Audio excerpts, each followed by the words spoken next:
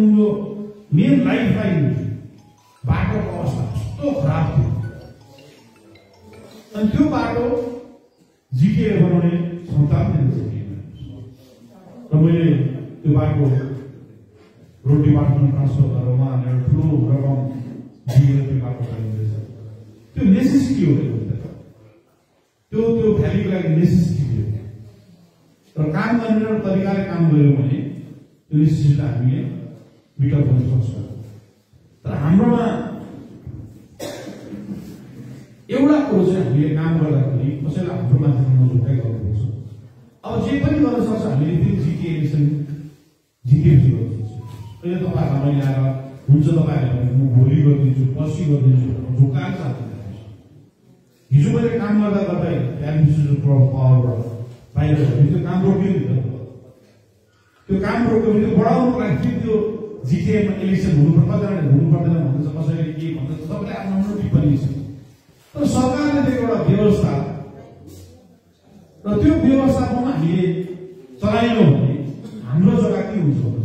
हो भोलिको दिनमा प्रकार भयो हामी लगाउँछौँ नि तर नहुन्छ पर्मानेन्ट पोलिटिकल सल्युसन त्यो पनि नहुन्छ के गर्ने त्यो पनि नहुन्छ हामी के गर्ने यसरी नै बसेर नि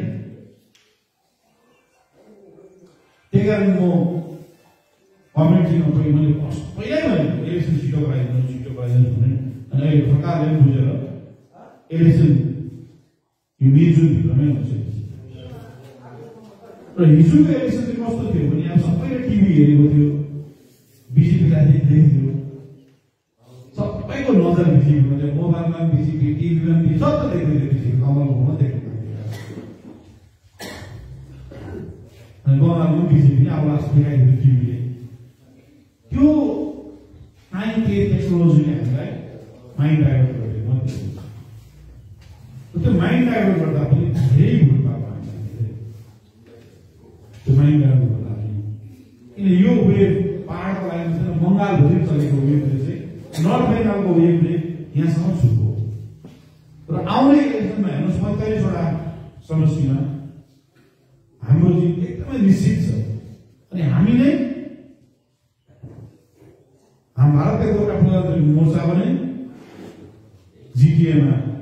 भोट